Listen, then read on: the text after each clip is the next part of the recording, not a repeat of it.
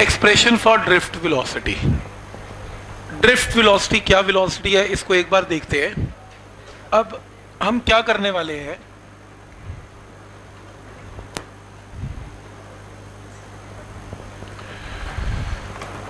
देखो, अब सपोज़ ये आपके पास एक कंडक्टर है। ये आपके पास एक कंडक्टर है, क्योंकि रेंडम मोशन में इलेक्ट्रॉन्स होते हैं। तो रैंडम मोशन में करंट तो कंट्रीब्यूट करते नहीं। तो हम क्या करेंगे? यहाँ पर लगाएँगे एक बैटरी बैटरी का प्लस माइनस तो ये प्लस तो ये प्लस ये माइनस तो ये माइनस तो इलेक्ट्रिक फ़ील्ड जनरेट हो जाएगा फ्रॉम प्लस से माइनस इलेक्ट्रिक फ़ील्ड जनरेट हो गया। ठीक है यहाँ तक तो इसके अंदर इलेक्ट्रिक फ़ील्ड जनरेट हो गया इसके अंदर। तो जो इलेक्ट्रॉन है इसके अंदर it will experience a force in the direction opposite to the electric field क्योंकि इलेक्ट्रिक फ़ील्ड के ऑपोजिट मूव करता है इलेक्ट्रॉन सबको मालूम है। और कितनी फोर्स से मूव करता है? फोर्स एक्सपीरियंस क्या होती है? मास इनटू एक्सेलरेशन तो sorry force experience is equal to q times E का फॉर्मूला इलेक्ट्रोस्टैट्स में किया था। F is equal to q E तो force experience will be equal to minus charge कितना है? E into electric field minus sign क्या show कर रहा है? माइनस साइन ये शो कर रहा है कि अगर इलेक्ट्रिक वेक्टर फॉर्म में लिखा है मैंने इलेक्ट्रिक फ़ील्ड अगर मेरी तरफ़ है तो फोर्स एक्सपीरियंस ऑपोजिट है। इलेक्ट्रिक फ़ील्ड अगर मेरी तरफ़ है तो फोर्स एक्सपीरियंस ऑपोजिट है। तो दोनों के डायरेक्शन में क्या फ़र्क है? माइनस का फ़र्क है। कोई डाउट इसमें? पॉइंट समझ में आ रहा है यहाँ तक? तो ये वैल्यू आ जाएगी आपके पास। तो अगर मैं ये पूछूँ कि एक्सेलरेशन कितनी एक्सपीरियंस कर रहा है? तो एक्सेलरेशन का फॉर्मूला क्या होगा? फोर्स डिवाइडेड बाय मास तो acceleration vector is minus e E divided by mass ये पॉइंट क्लियर है यहाँ तक? तो एक्सलेशन वेक्टर आ गया। अब क्योंकि हर इलेक्ट्रॉन को इलेक्ट्रिक फ़ील्ड सबको सेम मिल रहा है मास ऑफ़ इलेक्ट्रॉन सेम है इलेक्ट्रॉन का चार्ज सब पे सेम है तो एक्सलेशन एक्सपीरियंस सभी इलेक्ट्रॉन की सेम है। ये भी क्लियर हो गया। तो एक्सेलरेशन सभी को सेम मिलेगी। इसका मतलब यह पक्की होगी कि इलेक्ट्रॉन एक्सेलरेट करेगा और डायरेक्शन सभी इलेक्ट्रॉन की सेम हो गई अब वो रैंडम मोशन में नहीं रहेंगे। अब जब इलेक्ट्रॉन चलेगा, अब एक आध इलेक्ट्रॉन तो है नहीं। मेटल या कंडक्टर के अंदर 10 रेज टू पावर 28 इलेक्ट्रॉन्स होते हैं एक मीटर क्यूब में सिर्फ़। 10 की पावर 28 बहुत ज़ीरो होती हैं। इतने इलेक्ट्रॉन होते हैं, एक मीटर क्यूब में तो सोचो पूरे कंडक्टर में क्या होते होंगे? तो लाखों करोड़ों हो गए तो इतने इलेक्ट्रॉन फ्री इलेक्ट्रॉन मूव करते हैं।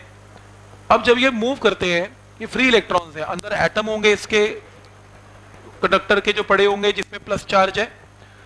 जब ये मूव करने की कोशिश करते हैं तो एटम इनको अट्रैक्ट करने की कोशिश करते हैं, क्योंकि पॉजिटिव चार्ज चाहेगा कि इलेक्ट्रॉन उसके अंदर आ जाए।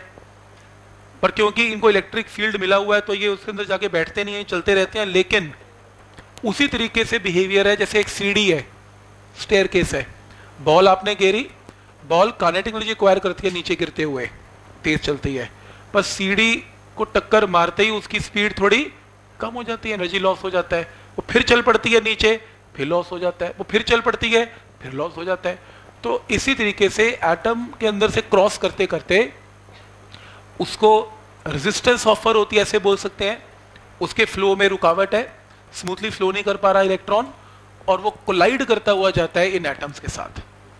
तो एटम के साथ जब कोलिजन होती है तो उसका स्मूथ फ्लो नहीं रह पाता। हम बोलते हैं वायर में रेजिस्टेंस बहुत ज़्यादा है। तो रेजिस्टेंस होने का रीजन कोलिजन है, टक्कर है। तो अब ये डिपेंड करता है, किसी भी मटेरियल में कितने एटम्स हैं, उनकी स्पेसिंग कितनी है। उनमें कितने फ्री इलेक्ट्रॉन्स हैं जब वो मूव करते हैं?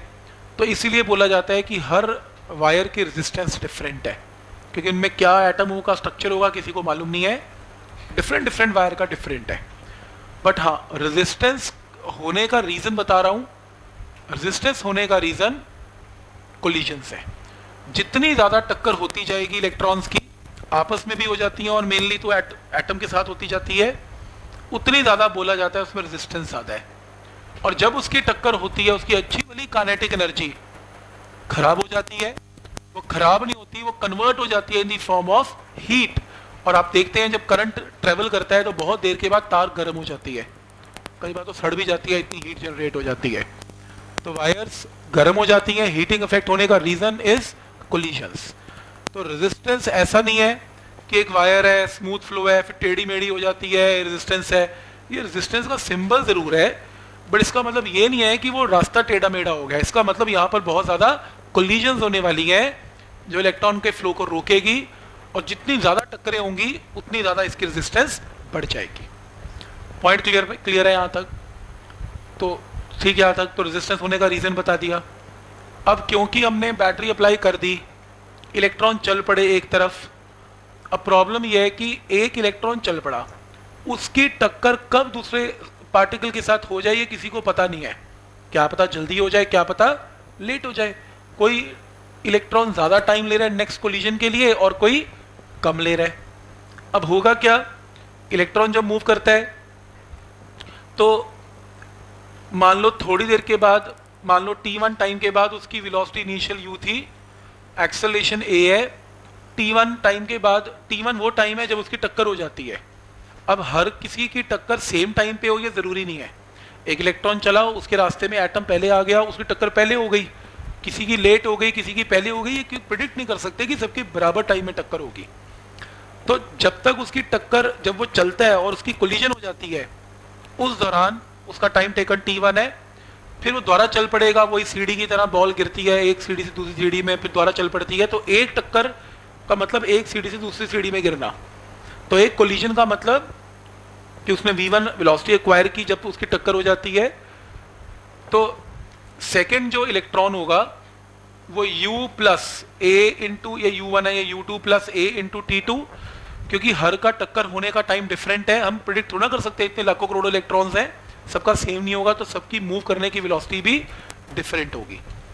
इसीलिए हर कोई इलेक्ट्रॉन सेम वेलोसिटी से मूव नहीं करता। हर कोई इलेक्ट्रॉन डिफरेंट डिफरेंट वेलोसिटी से मूव करता है, लेकिन हम 10 की पावर 28 इलेक्ट्रॉन का हिसाब तो नहीं रख सकते। कि किसकी वेलोसिटी क्या होगी, मेरे को क्या मालूम। तो इतने सारे मास के साथ हम क्या करते हैं? एवरेज ले लेते हैं। हम क्या करने वाले हैं?